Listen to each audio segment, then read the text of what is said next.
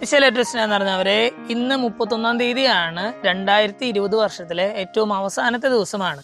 പുതിയൊരു വർഷത്തിലേക്ക് നമ്മൾ പ്രവേശിക്കുമ്പോൾ കഴിഞ്ഞു പോകുന്ന ഒരു വർഷത്തിൽ നമ്മുടെ ജീവിതത്തിൽ ഉണ്ടായ പോരായ്മകളെയും കുറവുകളെയും പരിഹരിക്കാനായിട്ട് നമ്മൾ കുറേ കാര്യങ്ങളൊക്കെ ചെയ്തിട്ടുണ്ട്. അല്ലെ പുതിയൊരു വർഷത്തിലേക്ക് കിടക്കുമ്പോൾ ആ പോരായ്മകളും കുറവുകളൊക്കെ പരിഹരിച്ച് നല്ലൊരു തുടക്കത്തിനായിട്ട് നമ്മൾ പ്ലാൻ ചെയ്തുകൊണ്ടിരിക്കുകയാണ്. അങ്ങനെ നല്ല പദ്ധതികൾ ഒക്കെ ഇങ്ങനെ വിഭാവനം ചെയ്തുകൊണ്ടിരിക്കുന്ന നമ്മുടെ അടുത്ത് ഇന്നത്തെ സുവിശേഷത്തിലൂടെ ഈശോ നമ്മോട് പറയുകയാണ് നീ പുതിയ ഒരു തീരുമാനം എടുക്കുന്നുണ്ടെങ്കിൽ നീ ഒരു പുതിയ തുടക്കത്തിനായിട്ട് ആഗ്രഹിക്കുന്നുണ്ടെങ്കിൽ നീ ശ്രദ്ധിക്കേണ്ട ചില കാര്യങ്ങളുണ്ടെന്ന് പറഞ്ഞിട്ടാണ് ഇന്നത്തെ സുവിശേഷം നമ്മളോട് ചില കാര്യങ്ങൾ പറയുന്നത്. അതിൽ ഏറ്റവും പ്രധാനപ്പെട്ട ഒരു കാര്യം ഇതാണ്.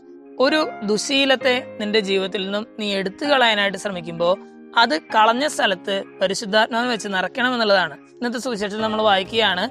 അശുദ്ധാത്മാവ് ഒരുവനെ വിട്ടുപോയി കഴിയുമ്പോൾ അത് പല സ്ഥലങ്ങളിലും അലഞ്ഞിരിഞ്ഞ് നടക്കും. തിരിച്ചു വരുമ്പോൾ ആ സ്ഥലം ആളൊഴിഞ്ഞതായിട്ട് കാണുന്നു എന്നുള്ളതാണ്. അവിടെ ആരുമില്ല വളരെ ഫ്രീ ആയിട്ട് കിടക്കുകയാണ്.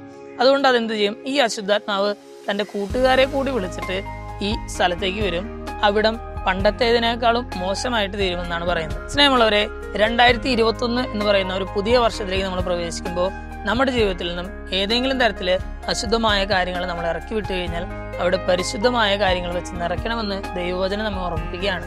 അതിനുള്ള കൃപയ്ക്കായിട്ട് നമുക്ക് പ്രാർത്ഥിക്കാം. ദൈവം നിങ്ങളെല്ലാവരെയും സമൃദ്ധമായിട്ട് അനുഗ്രഹിക്കും